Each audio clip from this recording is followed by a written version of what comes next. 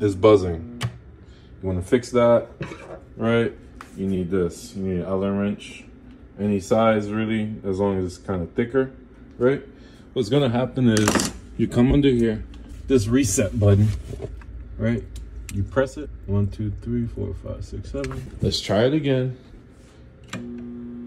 Still a problem. So you get this Allen wrench, you come under here, and then you?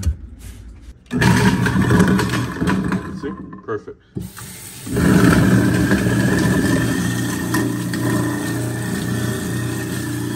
Perfect. Okay, do you have a stuck disposable? Ha